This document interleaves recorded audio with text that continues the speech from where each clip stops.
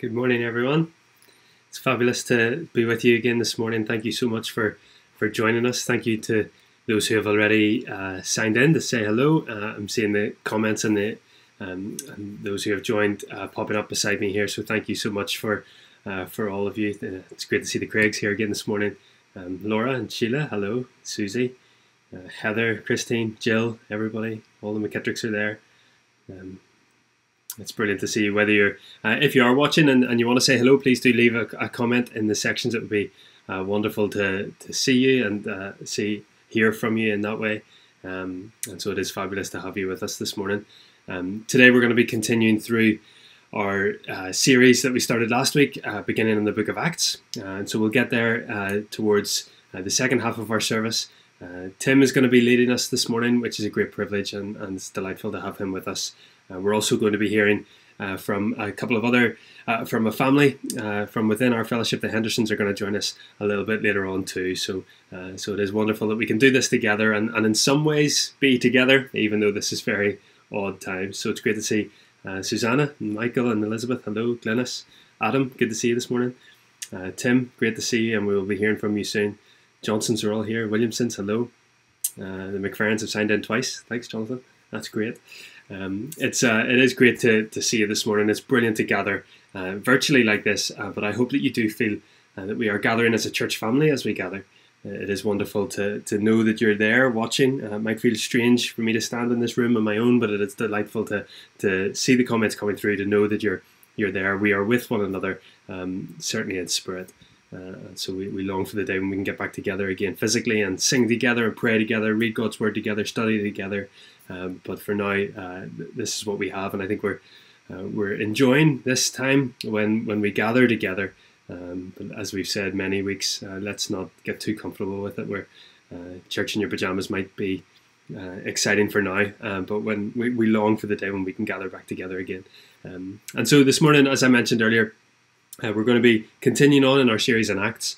we're going to be singing together. We're going to be praying together. We're going to be uh, sharing a little bit together as we hear from the Hendersons. Uh, towards the end of our time together, we'll be uh, sharing communion with one another. And so, um, wherever you are, whoever you're with, if you're with anyone at all, uh, we invite you to join us in that, and I'll lead us through that time later. Uh, but as I mentioned, uh, Tim is going to lead our time for us this morning and, call us to worship. And so, let me hand over to Tim. Thanks. Good morning, everyone. it's great to gather again this morning, um, albeit online, and to share with one another uh, to worship God and to hear from His Word. Um, so whether you have been part of Gilnahirk Baptist for a long time and were meeting with us regularly before lockdown, or whether you're new, you've just come across us online on Facebook, um, a big welcome to you as well. And if you are new, please do drop a comment below um, or drop us an email um, so we can keep in touch with you, um, check in with you and, and keep uh, making sure that everything's all right. And you're more than welcome with us um, this morning and then to be a part of our activities online during these um, unusual and uncertain times. A few weeks ago, at the start of this pandemic, um, as part of our life group, we um, looked at Psalm 23 together, and there were parts of that that just really rang true to us so much at that time. Um, I'm sure many of you will already know Psalm 23, maybe even off by heart, um, but let me read it together um, now with us, um, just as we um, set out on, on our service today. Um, so Psalm 23 says this, uh, The Lord is my shepherd, I shall not want. He makes me lie down in green pastures. He leads me beside still waters. He restores my soul. He leads me in paths of righteousness for his name's sake. Even though I walk through the valley of the shadow of death, I will fear no evil, for you are with me. Your rod and your staff, they comfort me. And you prepare a table before me in the presence of my enemies. You anoint my head with oil, my cup overflows. Surely goodness and mercy shall follow me all the days of my life, and I shall dwell in the house of the Lord forever. I think at the time when we were uh, looking at those passages together, um, we were just at the outset of the pandemic, and there's a lot of fear, and um, there was a lot of unknown, a lot of uncertainty, and to an extent, maybe not an awful lot has changed apart from a little bit of additional time. Um, and verse four in that uh, passage really was a comfort to us um, the fact that we um, can fear no evil for God is with us uh, and we He is there to comfort and help us. But this morning I just want to quickly turn our minds to, to verses 2 and 3. Um, as I've been reading the psalm again this week for myself, those verses have become a real comfort. I don't know what it has been about this week, um, but I know for myself and for many others, this week it's just been really tough um, for various different reasons. Um, I don't know whether it's just a little bit of lockdown fatigue, whether it's um, just struggling with some of the day to day things that are now uh, a new normal. But I think the reality is life as we once knew it has changed, possibly for a longer time than maybe we hope, and possibly in some aspects um, forever. But with this change, with this completely change in how uh, life goes on, we have an invitation from God here to come, to find rest, comfort, and peace in Him.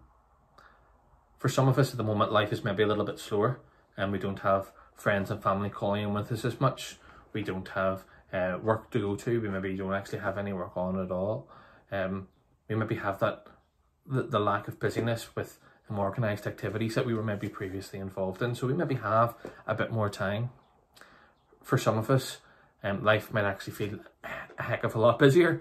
Um, we maybe have children to homeschool and the challenge of working from home and maybe even marrying those two together. Um, we have maybe lots of video calls, which can be quite exhausting for some people. Um, we actually, in some cases, maybe be looking at some of the people in that first group with a little bit of envy. Um, you know, who some who maybe are saying that they're a little bit bored with nothing to do and thinking wouldn't that be lovely. But we're, regardless of how we're finding things at the moment, God through the psalmist is inviting us to come and to rest, to step back from the schedule which um, we're in, whether that's a busy schedule or a little bit more relaxed schedule, and to come to find green pastures, to come and find uh, some quiet waters. Um, they're not likely going to be physical because at the minute we're not allowed to travel too far, and for some people that might actually be um, a bit of a problem. But we're invited to come and be restored um, by spending time with God. A friend of uh, and I uh, wrote a post in this verse um, a few days ago, and I'd just like to share that as we come to worship God and to help us uh, draw our minds to Him. Um, the post starts like this. Uh, there's a line I like to tell myself. It goes a little something like this. If only I had more time. Every 24 hour period filled with endless to dos, 1,440 minutes filled with really must dos, and 84, 86,400 seconds filled with probably should dos. Jobs to complete, people to see, routines to keep, meetings to attend, and agendas to follow, rules to fulfill, tasks to accomplish, no time to stop, no time to slack. This was life, life as we knew it, life as we liked it, busy.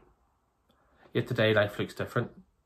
Appointments are cancelled, plans postponed, dates changed, schedules rescheduled, arrangements rearranged, diaries now blank and calendars now empty.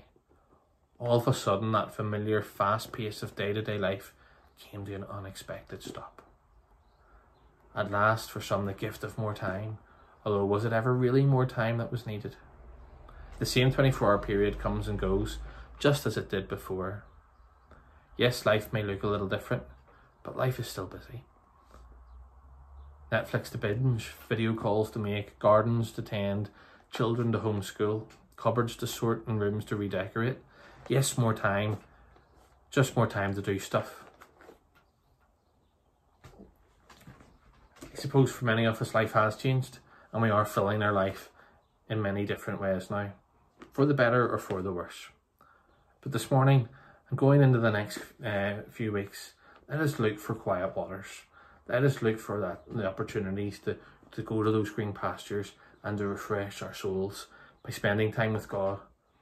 We might find that some of the, the worries and the concerns that we have might be eased as we spend more time with Him. Some of those hardships that we're maybe struggling with, we can have that burden uh, shared with Him. So let's come and refresh our souls with God, and let's look for those quiet waters, those green pastures, and those times and where we can spend time with Him. Before we sing, let's pray. Heavenly Father, we thank you that this morning we can come, take time out of our schedule to come uh, before you again, to come to hear from your word, to come talk to you, to come to to share time with one another, even if it is virtually online. And Father, we ask that whatever stage we're in at the moment, whether we're um, full of joy, whether we're full of sorrow, whether we're full of energy, or whether we need picked up, whether we um, are on fire for you, or maybe, Father, straying from you.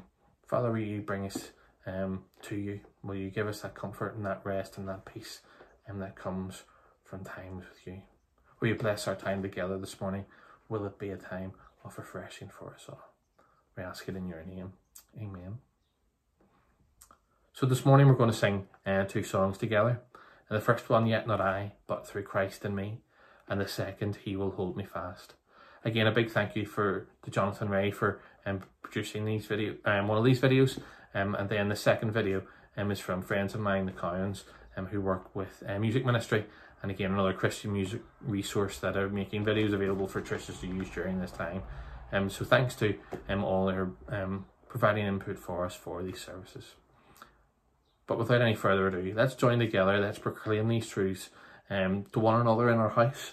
Um, if you're living alone, get those windows cracked open and it might not be a, a tuneful noise, but it might be a joyful noise. Let's, let's sing out these truths and proclaim them to, to ourselves and, and to those around us.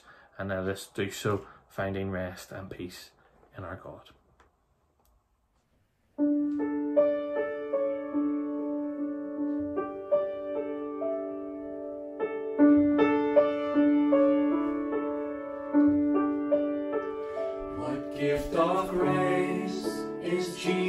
My Redeemer? There is no more for heaven now to give. He is my joy, my righteousness and freedom, my steadfast love, my deep and boundless peace. To this I hold, my hope is only Jesus. For my life is wholly bound to His. Oh, how strange and divine, I can sing, all is mine, yet not I,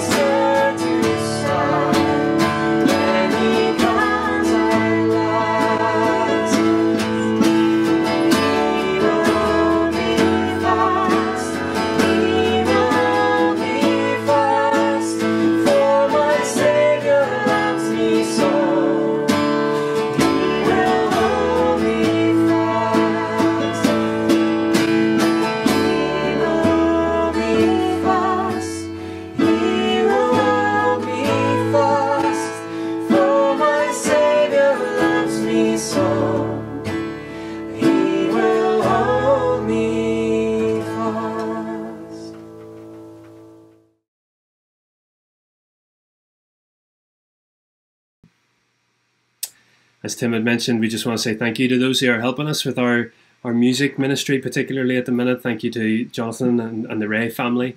And thank you there to the Coyans. Uh, just another example of people serving. I, I, felt the Coyans were, uh, they felt very like us, didn't they? Uh, whenever we gather, there's very often kids involved in one shape or another. So uh, big thank you to them. As, as we come again, can I pray for us?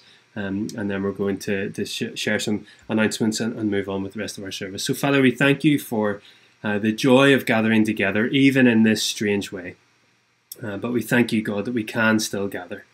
And so we thank you and praise you for the technology to do this. We thank you uh, for the, the privilege we have, Father, of, of high speed internet, of, of warm homes to enjoy uh, company with one another, but also uh, this kind of fellowship together.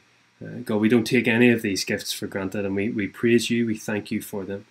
And Lord, as we continue with our service now, we pray that you would indeed be glorified, uh, you would be exalted in our time together, Father.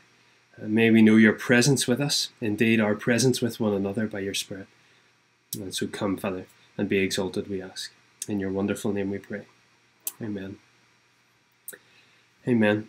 Uh, I, I, thought I would just share some uh, announcements with you, um, and uh, I've just uh, had a had a, a, text to remind me that um, May is a month of birthdays in church, uh, and and I realise I will miss some, and I'm sorry if I do. Uh, it is purely because I. I, I, I, don't know or don't know the exact date um, to hand, but it's Jacob Hutton's birthday today, so a big happy birthday to Jacob. I hope you have a great day. it's probably different than what you had planned, but I hope you have a cracking day, whatever you get up to. Um, in terms of other family announcements, church family announcements, um, I'd love to invite, invite you to our prayer meeting this evening, uh, 8 o'clock on Zoom. Um, and so if you uh, don't normally receive church emails, um, please do let me know. Uh, either email info at gilnahirkbaptist.org.uk or just send a message through the Facebook page and we'll make sure that your email address is added to that list. And in that email that will go out this afternoon, uh, there'll be a, a, link to, to access the Zoom prayer meeting. So that's prayer meeting tonight from eight o'clock to in around nine o'clock. and if you um, and if you uh, want to hang around after that, uh, there'll be no one rushing away. So please do hang around that way. Uh, life groups this week then will continue to meet uh, from eight o'clock Monday, Tuesday, and Wednesday night, uh, and so there will be. Um, on Zoom again, so your leaders will be in touch. again, I'll say if you haven't joined up with a life group yet, um, or it's not part of your regular rhythm, please do uh, let us know. We'd love to plug you in. Equally, if during this season you would just like to see and, and be with other members of your church family and therefore join a different life group than your normal one, please do uh, let us know. We'd be more than happy to facilitate that, um, especially in these days. Uh, and then next Sunday, we'll be gathering again uh, virtually online. And so 11 a.m. we'll be back here for our, our next installment in our Acts series. So that's on the 10th of May. We'd love to see you there.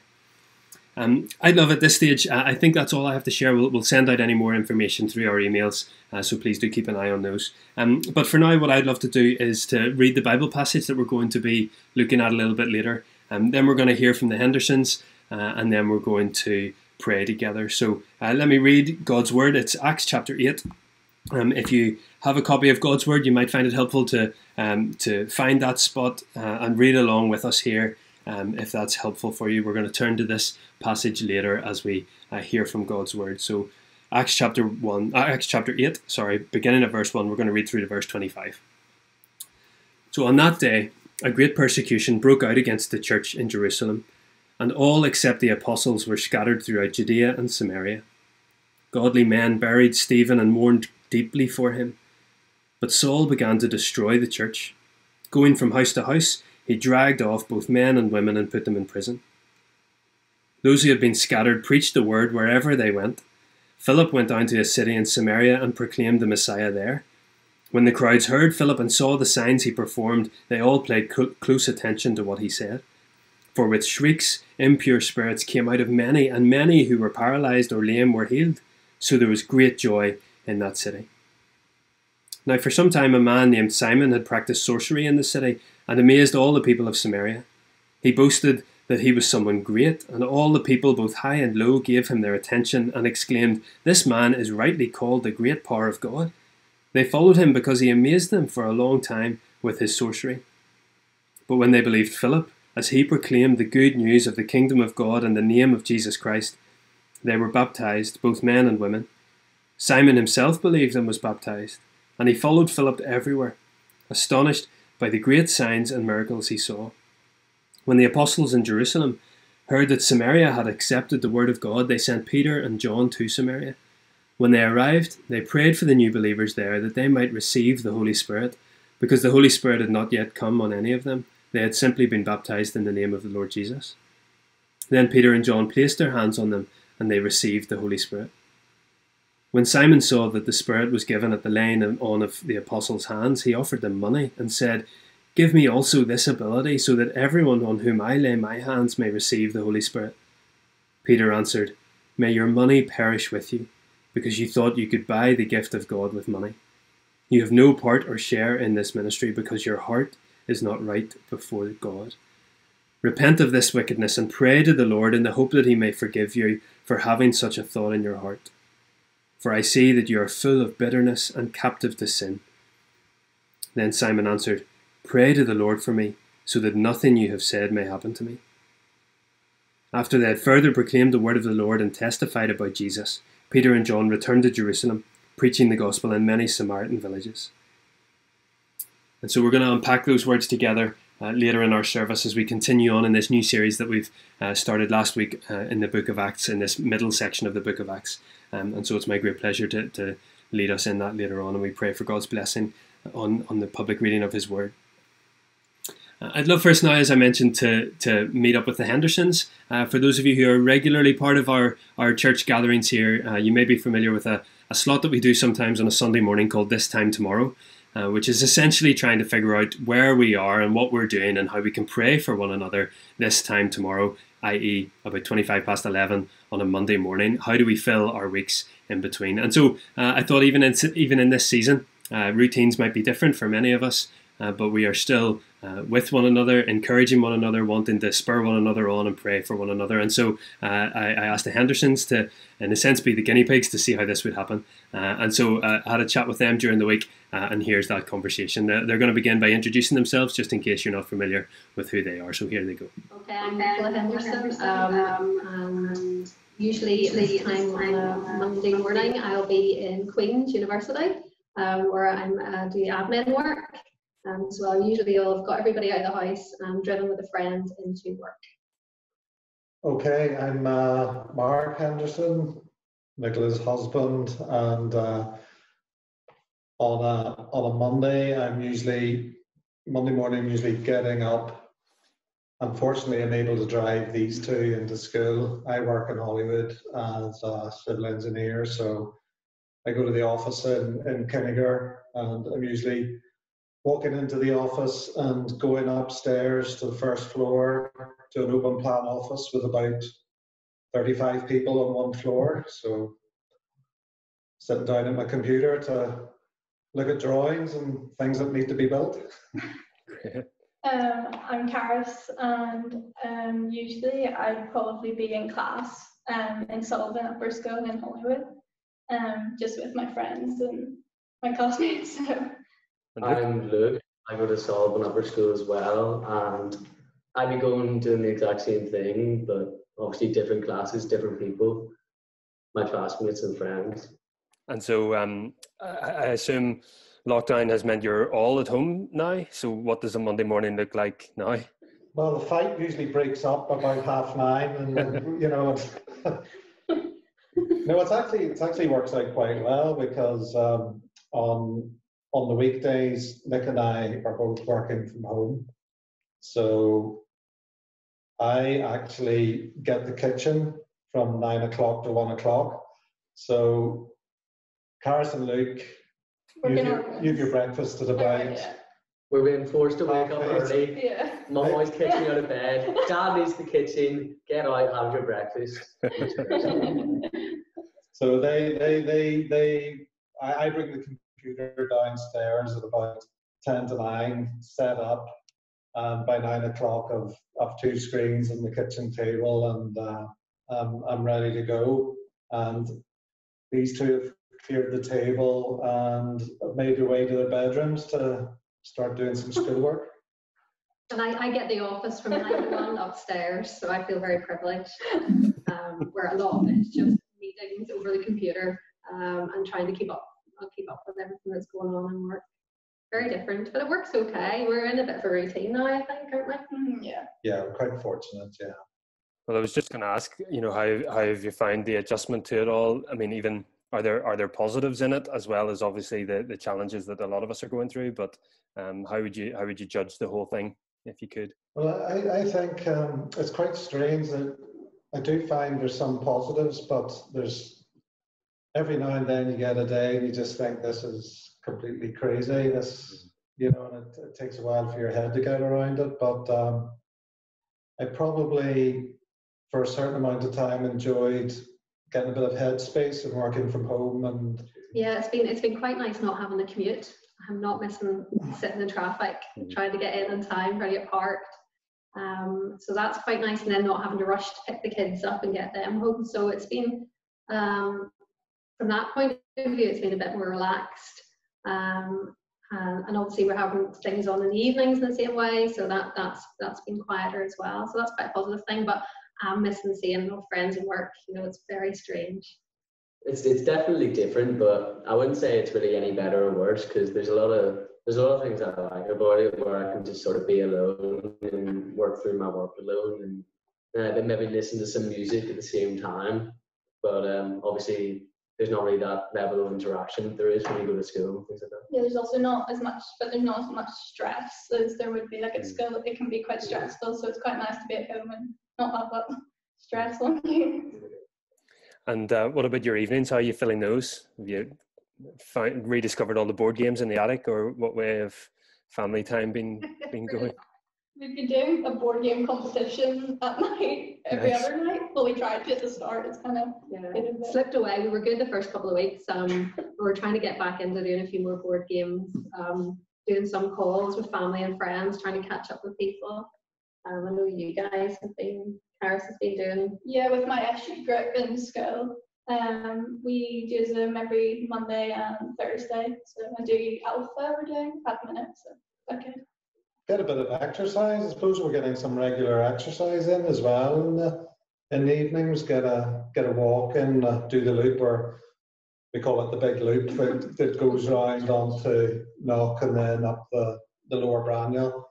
Or maybe get a cycle into Holywood just just to get out for an hour. And I've also discovered that I've become a barber. Oh yeah, yeah. That's my new part-time job. Yeah, yeah. Um, in, in terms of uh, church stuff, how have you been finding that online experience, or uh, even just day to day in terms of faith? How, how have you how have you been uh, continuing on in your walk with God? Well, I, for the church, uh, the church on the Sunday, uh, we we have really really enjoyed it, and uh, it's great having you on a 50-inch TV in our front living room on a Sunday morning. So, but uh, no, no, we, we have we have really really enjoyed it, and uh, I also think I was think I was saying to you before, Drew, just the fact that it's live actually brings so much normality to to the Sunday morning and we've been able to also share the link with family. You know, I've been able to share it with my family. You know, partic- particularly just before the, the Easter service, you know, my parents were at home. I thought my dad would usually be going to church. I was able to share the link. As a friend of yours, Nick. Mm-hmm. was was dialing in, and I find that it's easier to get a, a, bit of time in the mornings before you start work. You know, if you're not actually, if you're still in the house at a quarter to nine, you can actually, it's easier to get a bit of time to, you know, read your Bible, you know, before you start work. Whereas before you were you were all rushing out of the house, so it's probably been a bit more time for that from my point of view. Yeah. It's been it's been it's been good to do church together in the in the front room. Um, the sing the singing's not not great. Just talk for myself. Um, but um, one of one of the things that actually was making me laugh was recently Luke was trying to get some juice out of the cupboard, and I was saying, no, no, no, not that one. That's the communion juice. so um, yeah, so he's not allowed to drink current juice. That's the communion juice. Great. Sorry, Luke. Um, how, how can we be continuing to pray for for you guys? Look, I think that for me that we should use the use the time effectively. You know, it's, it's hard going. You know, there's that aspect, but I think it's a it, it's a good opportunity to to use the time. I think it's a good opportunity to to come closer to God. But I also think that that we just pray that we can keep keep positive. I mean, it's just going to get harder as as this goes on, and um, it's hard to see the end in sight. I think I think as a family we've been quite blessed that I mean we're, we're all well. You know, we're all able to work from home. Um, we're very lucky that we have a home space. Uh, I'm aware there's a lot of people don't have that. So you know, I, I do feel very very blessed and very aware a lot of people don't have that, and it's maybe not as easy or they're maybe not working at all. You know, so I'm very mindful of that. Well, sometimes getting work done by yourself can be a bit harder. Mm. I struggle with a bit of procrastination sometimes, and I don't know, sometimes you end the day and you haven't got enough work done and you feel a bit bummed about it. And maybe pray that you just keep focused. Maybe just that, um, just like because we're not really getting a social interaction we'd have with our friends, it's quite hard. Even like when we do meet up with them, it's kind of hard to what to talk about as well. Mm-hmm. It's good that Luke's been doing the Bible class. Oh yeah, the Bible class. And then I've been doing the my SU group, so that's brilliant, guys. Thank you so much. It's great to uh, not only get an insight into your house, and um, but even just life and how it is at the minute. And um, so, thank you for sharing. Thank you for being willing to uh, to join with everybody and to share a bit of your story. So, it is wonderful to uh, get an insight into into people that we would normally be bumping into week after week. Uh, and so, thank you to the Hendersons. Um, and we're going to pray now. Um, we're going to pray uh, for for the Henderson family, for one another, uh, for uh, issues going on in our world. And so um, I'd just like to gather our thoughts again around where Tim started our time this morning, around Psalm 23. Uh, this is the God who we're coming before. And so um, I'll pray for a little bit, and then I'm going to leave a time of quiet for uh, you to bring your own thoughts, prayers. even if you're if you're with others, you may want to pray together. Um, but let's let's come before this God who hears our prayers. The, the Lord is my shepherd; I lack nothing. He makes me lie down in green pastures. He leads me beside quiet waters. He refreshes my soul. So let's come before uh, this this shepherding God, Father. We thank you for who you are. We thank you for uh, the wonder of uh, of being able to know you, uh, to know your love. Uh, thank you, Father, for how you have demonstrated that love to us in the person of Jesus. How you have called us to follow uh, you through Him, Father. We thank you for uh, the reality of being part of your family. And, and in that family, God, we, we share this great love and care for one another. Uh, and so we do pray for the Hendersons. God, I thank you for them.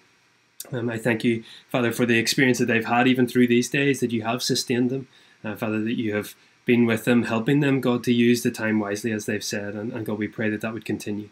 Uh, thank you, God, for uh, keeping them safe, for the, the physical and electronical blessings they know uh, in being able to continue on with relative normality um, in these situations. But God, we pray for them and, and we, we pray your continued uh, presence in their home. Uh, God, that they would indeed use the time wisely, Father, that the, the time not only gathered around uh, the big TV on a Sunday, but, but the whole, everything in their home would be just peppered and, and fragrant of your, your presence.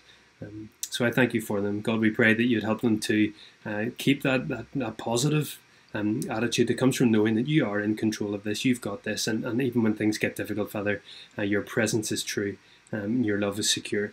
Um, God, I, I pray that you would help uh, Karis and Luke as they try to um, balance the, the work and being at home and doing everything at home Um, Lord, even from a socializing point of view, God, would you help them to know that they're not alone and that, that they're very much uh, with you, with us. Uh, God, I thank you for uh, the way in which the SU group and the, the Bible class have been able to continue. And Lord, I pray that that would continue to, to be a real source of strength and comfort, um, not only in that social aspect, but Father, in their in their walks with you. Would you uh, continue to sustain them and build them up, God? We pray. So we thank you for the Hendersons. We pray your blessing upon them.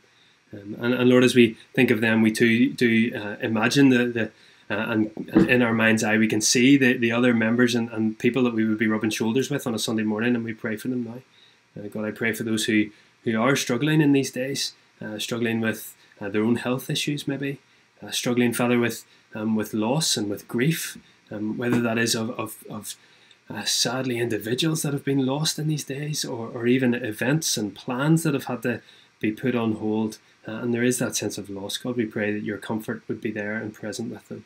Um, we pray specifically, Father, for uh, Lorraine as she continues to mourn the loss of her father. Uh, God, would you comfort her, we ask, in these days. Um, Father, I pray that you would strengthen us too, uh, that we would be able to uh, not just survive this strange time, but Father, we would thrive in it uh, thrive in our relationship with you in these days, but thrive, Father, in our witness for you to those that we do get the opportunity to rub shoulders with or communicate with over over internet stuff, or or Father, just in, in our attitude and in our everyday, Father, that there will be something uh, of your presence uh, that goes with us everywhere we go, and that we share that um, with those we interact with. And God, we do pray uh, on, a, on a wider scale, a national scale, a, a global scale, even for um, the circumstances and surrounding COVID 19. Father, we ask you uh, would continue to bestow your wisdom upon those decision makers. Father, we ask for uh, many, many, many good conversations, even godly conversations to be taking place in those corridors of power. And Father, that there would be a real um, reshaping of priorities and uh, a real understanding of, of, who you are in the midst of all of this. And Father, that, that society as a whole would, um, would come to know you as our Lord and our King through what's going on. So, so bestow your wisdom, we pray, on our leaders. And Father, there are so many other issues that we want to bring before you. And so, God, in the in the quiet, uh, we want to bring those before you now. And we pray um, that, that, as we pray together, God, you would hear our prayer, and that we as individuals praying together would be comforted um, by your presence uh, with each one of us guiding us through. So, so hear our prayers, we ask in your name.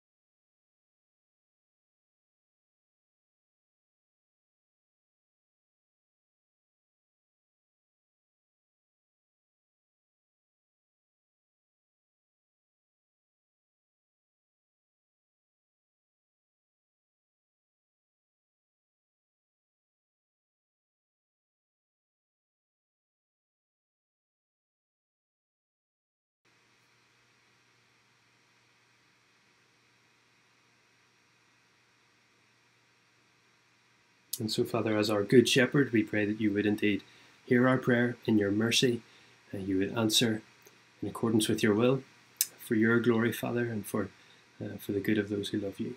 So we thank you, God, and we ask your blessing upon us as we as we turn to your word now, God. Would you guide our thoughts? And would you help us, Father, um, as we as we wrestle with such richness and the, the, the wonder of your word to us uh, through the Bible? God, would you speak powerfully? We pray, and it's in your wonderful name we ask these things. Amen.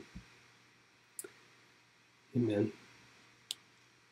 We are going to turn now to God's Word, and so uh, if you have a copy of um, of the Bible in front of you, please do uh, grab that. Maybe it's on a device, and so you want to uh, be scrolling through there to Acts chapter 8. Um, if you're watching and you don't have a copy of, of God's Word and you would like one, please do let us know. We'd love to send one out to you um, just so that you have one, uh, so that you can see God's Word for yourself and, and read the, the, joy that's in it. Um, but today, as I mentioned, we're going to continue uh, with the series that we launched last week through the portion in the book of Acts. Um, as we said last week, we, uh, we, we looked at the first chunk of Acts, so from the very opening of the book through to chapter 6, verse 7. We looked at that back in 2018. And so if you want to go back and check those messages out, please do. They're still on the website or on the podcast. Um, but from now until the summer, then we're going to explore from chapter 6, verse 8, through to the end of chapter 12. And it's a, it's a wonderful section of this great book as, as we see the, church of Jesus Christ, the, the first Christians, uh, move from the, the safety of Jerusalem to the regions around them. And as we said last week, in essence, it follows the second stage of the, the blueprint that Jesus himself laid out. In, in Acts 1, verse 8, we see Jesus himself saying, But you will receive power when the Holy Spirit comes on you, and you will be my witnesses in Jerusalem and in all Judea and Samaria and to the ends of the earth. And so, from the beginning of the book, uh, right up until chapter 8, we see the church in Jerusalem. And now, as a result of what we saw last week with the death of Stephen, uh, we see the church scatter from Jerusalem to the surrounding areas uh, of Judea and Samaria. And that's why uh, we've called this series The Church on the Move. Um, and we can see as we turn our attention now to, to Acts chapter 8, um, we can see from the first three verses of that chapter uh, that this was a deeply unpleasant time for the and troubling time for the early church. Just look at those first three verses.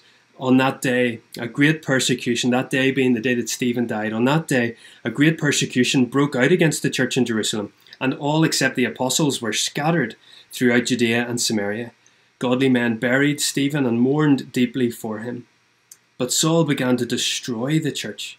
Going from house to house, he dragged off both men and women and put them in prison. This was a this was a horrendous time for the early church. This new community who had been enjoying and sharing all of life together. We read about it in Acts 2 42 to 47. This example of, of sharing teaching, of worshipping together, of fellowshipping in that true sense of the word. And this new community is now being ripped apart. And, and the language here in verse 3 of Saul's treatment of the church is violent language. He, he begins to destroy the church. Indeed, the ESV and other translations uh, take that term destroy and talk about how Saul ravaged the church. That, that sense almost of a, of a wild animal tearing its prey apart. This was, this was brutal, what was happening to our early brothers and sisters. But as we saw last week, uh, this man, Saul, his, his treatment of the church was far from the end of the story, far from the end of his story, far from the end of the story of the church. You see, Saul, the persecutor here, who we meet in these verses, is then met by Jesus in Acts chapter 9. He's transformed by Jesus. He becomes one of the greatest heralds of the good news of Jesus the world has ever known. He becomes the Apostle Paul. And so Saul's story doesn't end in chapter 8, and neither does the church's. God, as we saw last week, had bigger plans going on. And so, as we see Saul trying to stamp out the early church, of course, God's plan was bigger than that and far from it. In fact, John Stott actually says instead of smothering the gospel, persecution succeeded only in spreading it. Of course, that was God's plan all along that, that his church would grow and spread, and, and many more would be welcomed into his family along the way. That, that's what we see in Acts 1 8. You'll be my witnesses in Jerusalem, Judea, and Samaria, to the ends of the earth. And so that's the context in which we're picking up here in chapter 8. The church is on the move from Jerusalem out and out to Judea and Samaria, just as Jesus had said. And so today we're going to see the first encounters that take place as the church moves. And the majority of chapter 8 focuses on the experience of one man, Philip. Uh, but let's not skip over verse 4. See, in verse 4 we read, Those who had been scattered preached the word wherever they went those who had been scattered. You see, that the task of spreading the good news of Jesus was not confined simply to the apostles. Indeed, as we saw from verse 1, the apostles are the ones who stay in Jerusalem. They continue to lead the church there, to, to oversee the whole ministry as a whole. And so it was it was regular Christians, if there is such a thing, who, who were scattered, and they were the ones who continued to preach the word wherever they went. And I think that's remarkable that despite the persecution that we were reading about, despite the, the unknown that they are then walking into, the one thing they could do was share the good news of Jesus. And isn't it a challenge to all of us that however we spend our days, whatever our role might be in, in workplace or family, I wonder, could we be known as people who preached the word wherever they went? The image it conjures up for me here is like a like an army of ordinary people spreading from Jerusalem, taking the message with them as they go to wherever they go. And then in verse 5, we're, we're introduced to Philip and Philip's encounter in a, in a Samaritan city. Uh, and that's where we're going to spend the rest of our time this morning. But, um, but what do we know about Philip?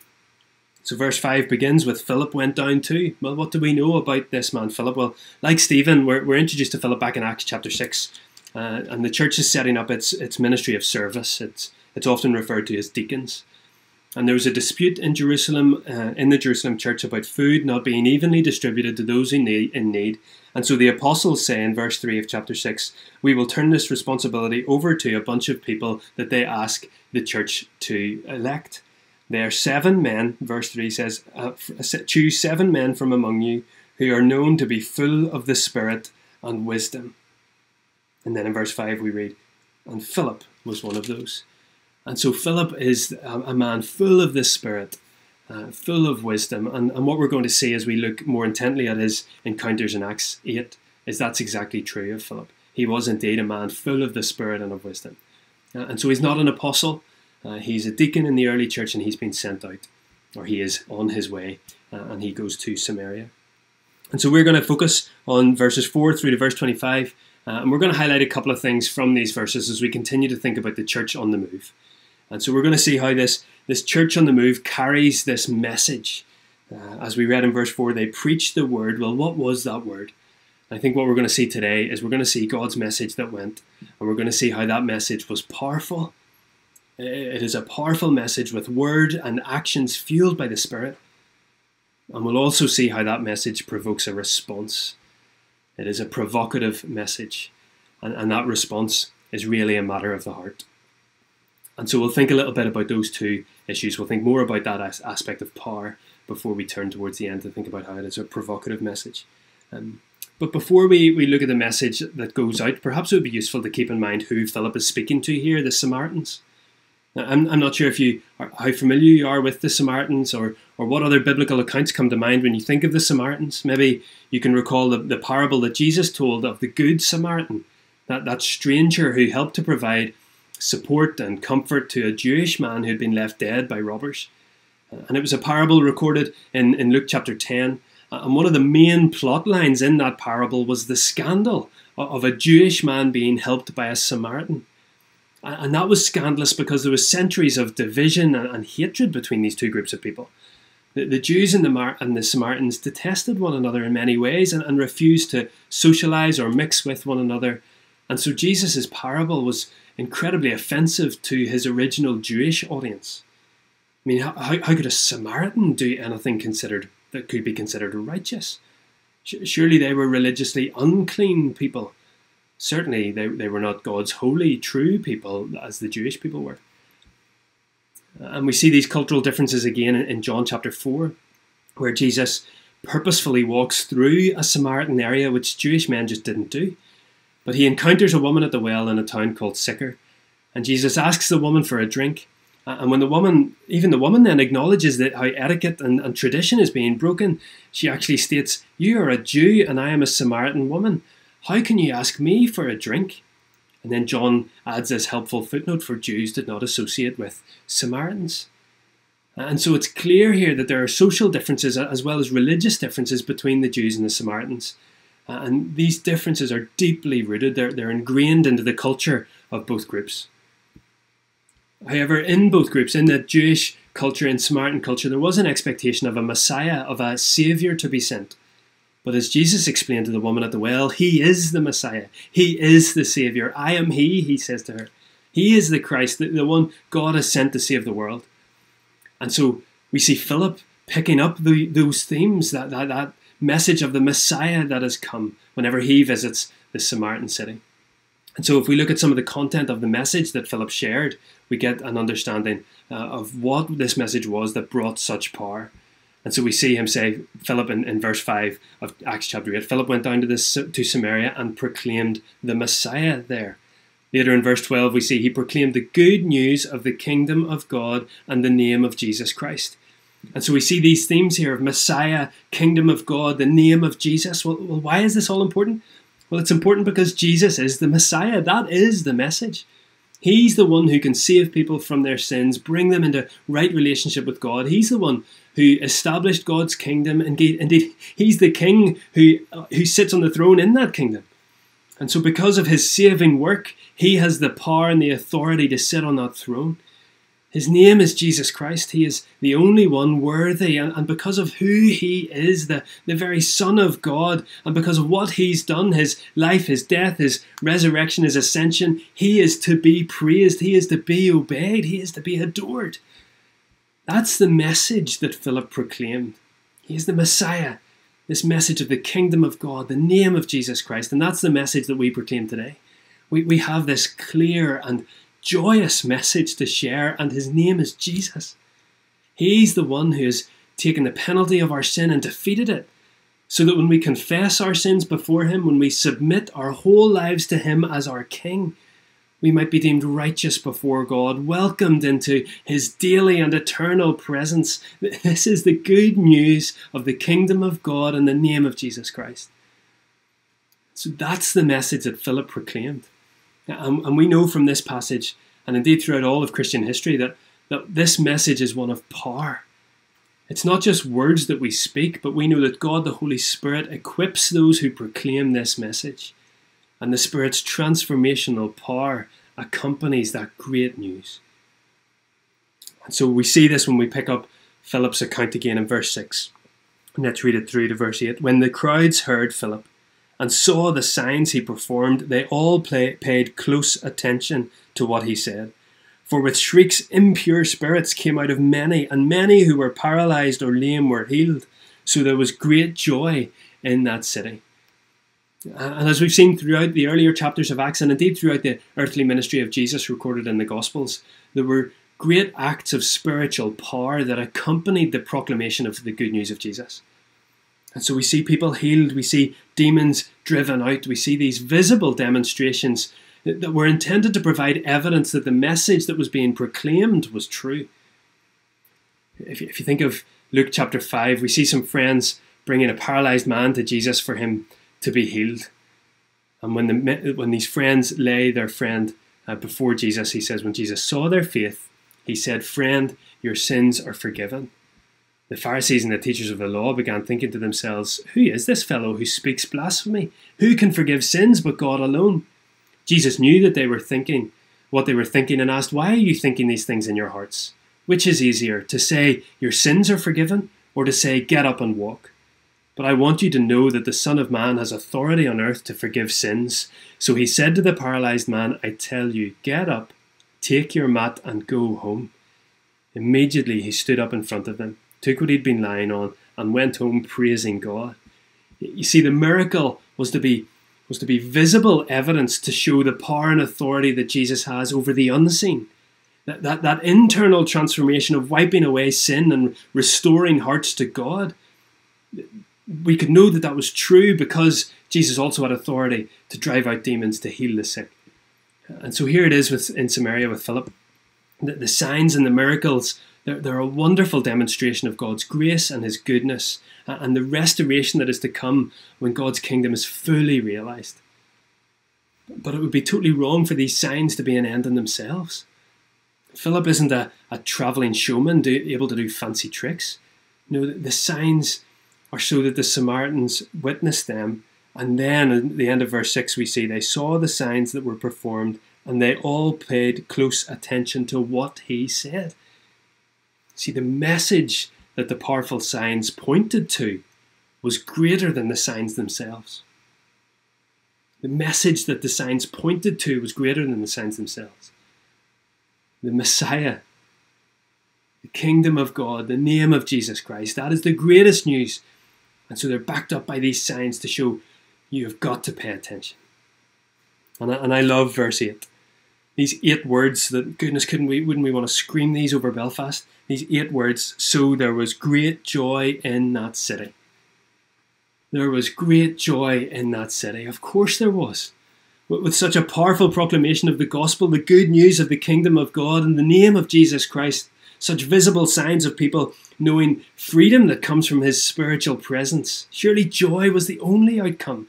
Great and, and lasting and liberating joy the, the joy of knowing sins forgiven, the, the joy of knowing adoption by God as his son or his daughter, the joy of knowing God as our heavenly Father, that's joy. And these Samaritans experienced it by the bucket load. And so we see here that the church is on the move. And as the church goes, made up of, of hundreds of individuals who continued to share the good news as they went, then we hone in on Philip in Samaria and, and we see here this powerful message words of truth that are fueled by the Spirit.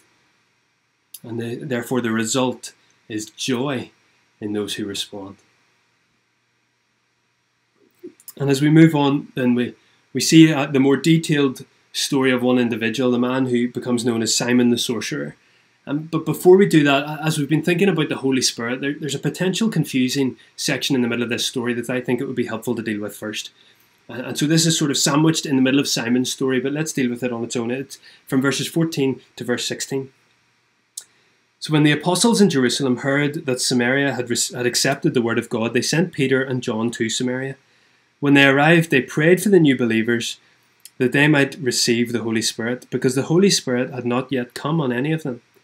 They had simply been baptized in the name of the Lord Jesus. Then Peter and John placed their hands on them, and they received the Holy Spirit. You see, this seems to be a, a strange occurrence, doesn't it?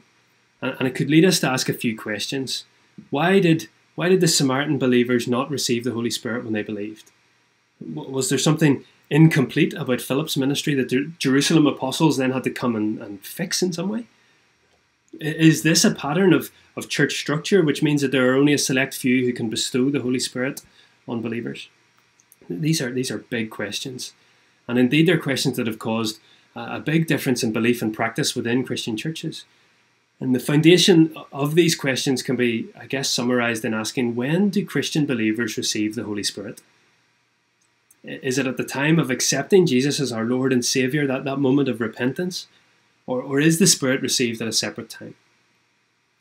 Well, when we reach verses like this that cause us questions, uh, it's important to let the whole counsel of Scripture help us interpret specific Scripture, not, not just read one verse and taking that practice as, as normative. And so when we look wider than this one example, we do see that the Samaritan scenario is, is by far an exception to the normal teaching and practice of the New Testament. And so we'll come back to, to why there's a difference here and what we're to learn from it. But a, a quick summary of a couple of other verses will help us to see the normal practice and teaching of the early church, which of course we should then try to follow. Um, so, firstly, staying within these verses themselves, we get an indication that there's something unusual occurring here, uh, something that's breaking the mold of the normal pattern. Um, if you look again with me at verse 16. So Peter and John come from Jerusalem to Samaria because the Holy Spirit had not yet come on any of them. They had simply been baptized in the name of the Lord Jesus. They had simply been baptized in the name of the Lord Jesus, or, or many other translations state they had only been baptized in the name of the Lord Jesus, suggesting there had been something lacking in, in what was expected to have been experienced. That the normal pattern in teaching would have been that the Holy Spirit had been received at that time.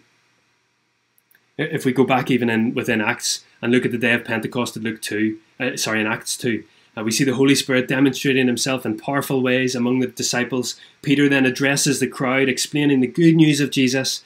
And in response to a question on how those hearers should respond to this message, and Peter clearly says in verse 38 Repent and be baptized, every one of you, in the name of the Lord Jesus, for the forgiveness of your sins, and you will receive the gift of the Holy Spirit. So the act of repentance, having sins forgiven, receiving the Holy Spirit is one event. There, there, was nothing extra that needed to happen at a later stage. The, the Spirit would be sent in that moment of repentance, of faith, and forgiveness. And finally, then, let's, let's look at Romans 8, verse 9. You, however, this is the Apostle Paul writing, remember the persecutor Saul? This is now Paul writing. You, however, are not in the realm of the flesh, but are in the realm of the Spirit. If indeed the Spirit of God lives in you, and if anyone does not have the Spirit of Christ, they do not belong to Christ. So, can you see that link? That the belonging to Christ means we have the Spirit. They are one and the same. And therefore, there cannot be a time when you are a Christian that you have not received the Holy Spirit. God's Spirit indwells those who believe. And so, hopefully, those verses help to show that the Apostles' teaching is, is that to be a Christian is to receive the, the Holy Spirit. That's the normal pattern. So then we have to ask why is this scenario in Samaria different? Why was the Spirit not received like, like normal circumstances, if we can say that's normal? Well, the good news of Jesus reaching Samaria was far from normal. Remember the, the division and the animosity that we talked about earlier between the, the Jewish and Samaritan people? Well, with that, that history, could it be that God sovereignly withheld his spirit from falling in order to show that his church would break down those long held divisions? That his church would span the cultural and traditional divides? And so God ensures that there is visible unity between the Christians in Jerusalem and the new Christians in Samaria.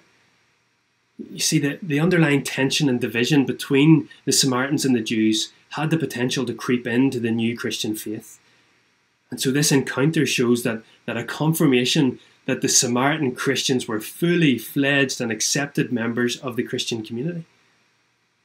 And so Peter and John, the, these heavyweights, if you like, in the Jerusalem church, join Philip in Samaria. They warmly welcome the Samaritan churches. And in doing so, it's proved that they are fully fledged members of the Christian community. I find um, Geoffrey Lampe helpful as he explains that it had to be demonstrated to the Samaritans beyond any shadow of doubt that they had really become members of the church in fellowship with the original pillars. An unprecedented situation demanded quite exceptional methods. See, rather than these verses providing confusion for us, they actually demonstrate a real work of God as he, as he watches over and protects his early church. He's making it visible to the world that his love and his mercy and his grace crosses over all sorts of man made boundaries of, of culture and religion and history and ethnicity or class. None of those boundaries count for anything when it comes to accepting the good news of Jesus Christ, when it comes to joining his church. And isn't that good news indeed? And so we've we've seen the, the, the powerful message that Philip proclaimed with the Samaritans. And we've explored the, the coming of the Holy Spirit to those believers. And so the final aspect of this encounter that we're going to look at this morning will take us back to Simon the sorcerer, who we met before the visit of the Jerusalem apostles. So we are introduced to him in verses 9 through to verse 13. And his example shows that, that the message of Jesus is not only powerful, but it is provocative. See, Simon was a, we read in verses 9 to 13, he's a powerful influence in the city. He's, he's a man with quite the following, quite the reputation, uh, and a pretty high opinion of himself. But he encounters Philip and he's captivated by the message and the signs that accompany that message. And we're told that, that Simon believed Philip's message and followed him. And then Simon witnesses the Holy Spirit coming on the Samaritan believers when the, when the apostles laid their hands on him, and he's fascinated. And we see that the, the, the showman in him loved this ability, this, this power. And so he offers them money to be able to, in his mind, perform the same kind of trick. But of course, this spiritual act was not in any way intended to be a show or, or a performance, and it certainly wasn't for sale. And so Peter strongly rebukes Simon for his attitude, strongly rebukes him for, for his failure to understand what has really gone on. And we may wonder how Simon got it so wrong, but I actually think this morning we need to recognize a very serious warning in these verses. You see, Peter cuts right to the core of the issue with Simon when he says in verse 21 Your heart is not right before God.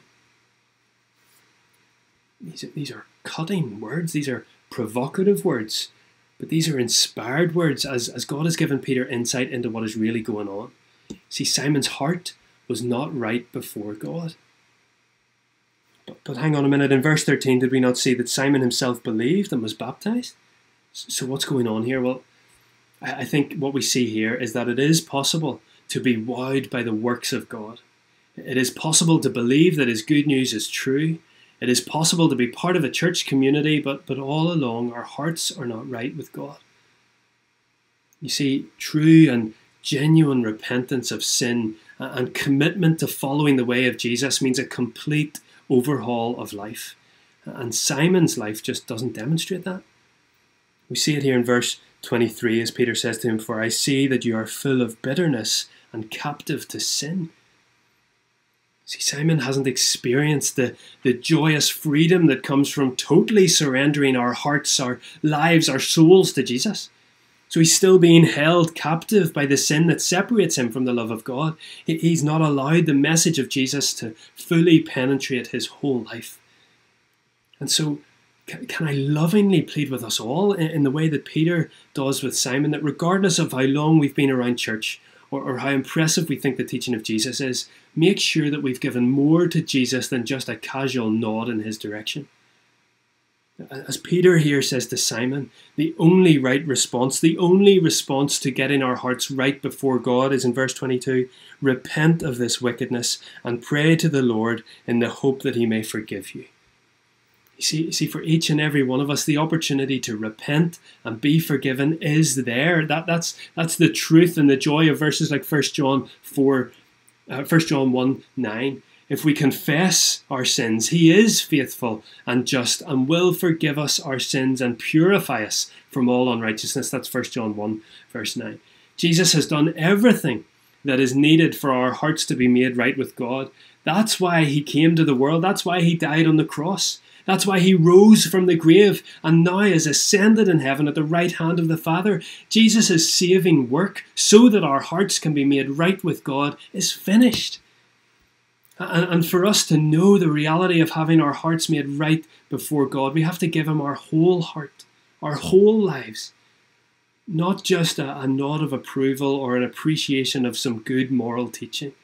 We must give all of ourselves to Him because he gave all of himself for us. That's why this message is also provocative, because it demands our all. And for, for some of us, that, that seems like too much. But if that's the case, then, then maybe maybe it would be helpful to step back and see the fuller picture, the, the reality of what has been done for us. See, as we mentioned a few weeks ago, the reality of the good news can be seen in this verse from 2 Corinthians that God made him who had no sin. That's Jesus. Jesus had no sin, but God made him who had no sin to be sin for us, so that in him we might become the righteousness of God. The enormity of that statement shows that giving our all to Jesus is the only fitting response because of what Jesus has done for us to make our hearts right before God, to remove the stain of sin from our lives so that we know relationship with the eternal, majestic, creator, loving, holy, and, and just God. That's what Jesus has done. That is the good news. And he did this all by leaving the glory of heaven, coming to earth as a man, dying a, a, brutal and lonely death before rising triumphantly from the grave. And as I've said, reigning now in heaven, waiting to usher in his kingdom in all its fullness. This is King Jesus. And this is the only one who gave himself for the world, the only one who could. So this message is powerful. But this message is provocative, it demands a response. And I pray, we pray, we, we earnestly pray uh, that you would know this incredible love. You would respond to Him by giving your whole life to Him and therefore be transformed into His likeness by His Spirit, which will indwell you. See, God's message is powerful, God's message is provocative, God's message is transformative genuine faith in Jesus transforms our whole lives, our, our attitudes, our words, our priorities. They're all overhauled because the root of our very beings has changed. Our hearts have been made right with God. This is the wonder of the good news of Jesus Christ. It, it was the wonder of the news that the Samaritans heard. It was the, still is the wonder of the good news that we share today. The message is powerful. The message is provocative. And let's be people who respond to this message in fullness. That we give our all to Him. And therefore, we demonstrate the power of this message by living a, a faithful, following, obedient life to our King Jesus.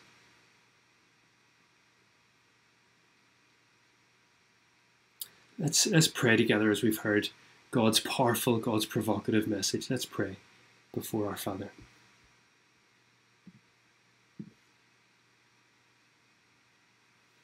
God, we thank you for your word. We thank you for the, the joy and the life that is in your word, that you give us through your word. Father, we thank you that, that in your word we see your great salvation plan We see the, the joy of the message of Jesus.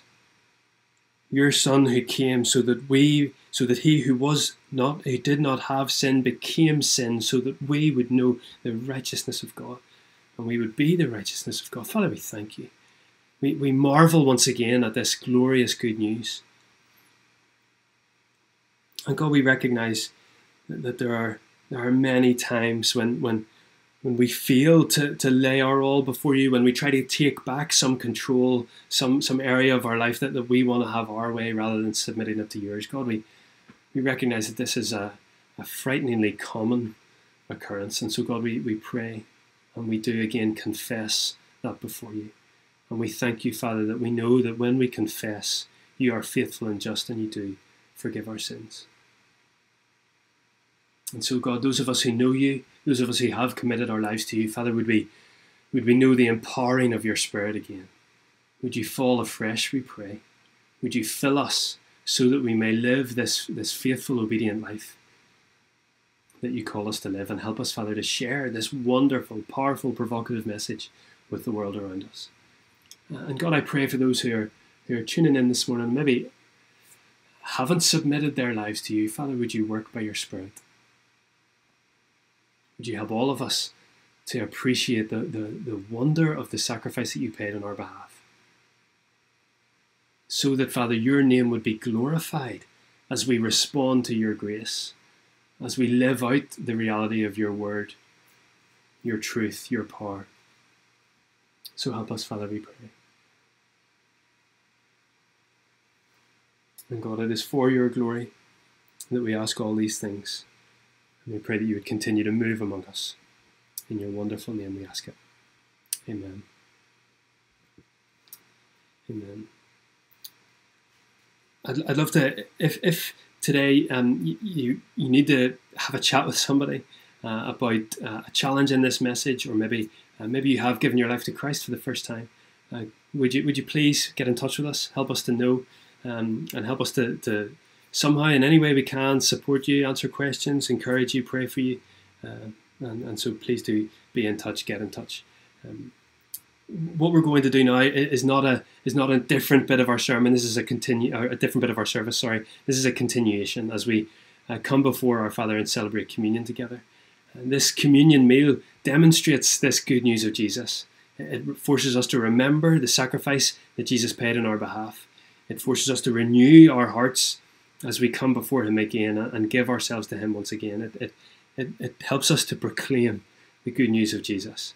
That Jesus, on the night that He was betrayed, He took bread with His followers as He gathered in the upper room. He broke it and said to them, This is my body, which is broken for you.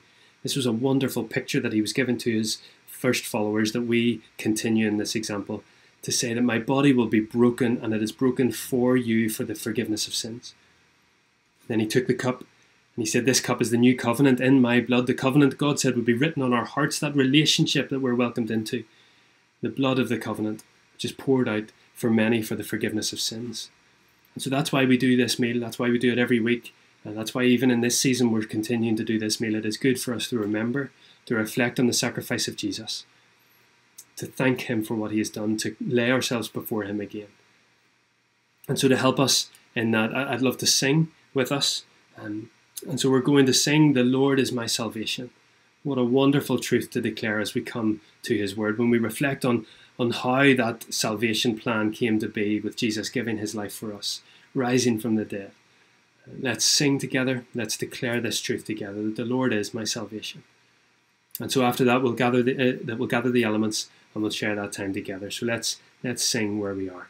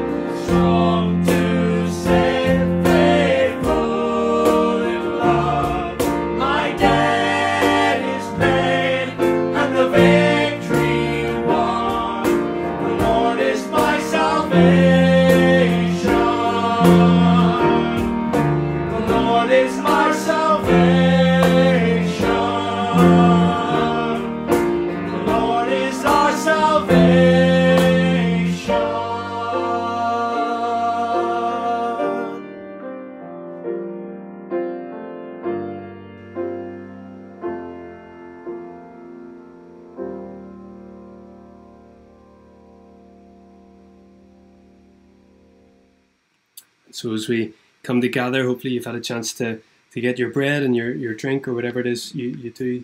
Um, but let's reflect again on those wonderful words in Second Corinthians 5.21. God made him who had no sin to be sin for us, so that in him we might become the righteousness of God.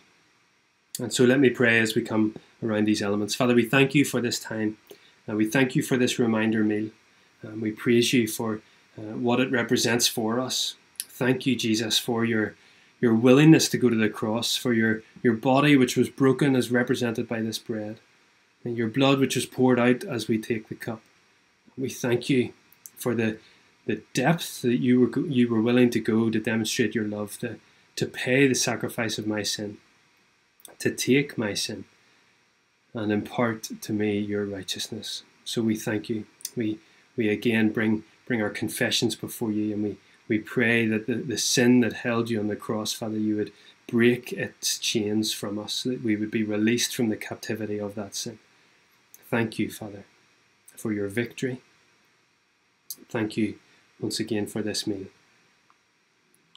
And so, as the Apostle Paul wrote to the church in Corinth again, we say, Well, For I received from the Lord what I also passed on to you. The Lord Jesus, on the night he was betrayed, he took bread, and when he had given thanks, he broke it and said, This is my body, which is for you. Do this in remembrance of me. In the same way, after supper, he took the cup, saying, This cup is the new covenant in my blood.